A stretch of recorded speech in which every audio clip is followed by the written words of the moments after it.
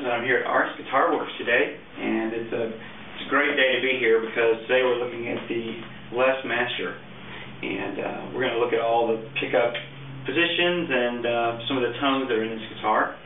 And we're going to start here in the uh, bridge position. I'm going to have my volume all the way up, my tones all the way up. Play some chords here for you.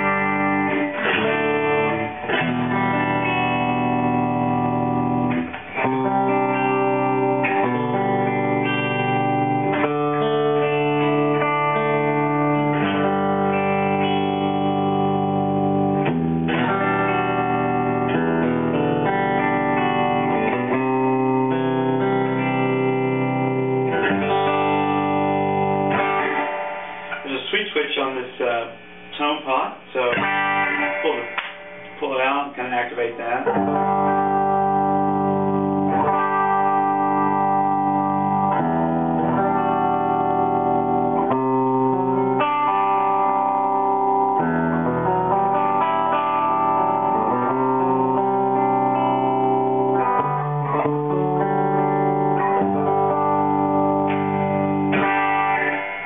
Let's go to the middle position.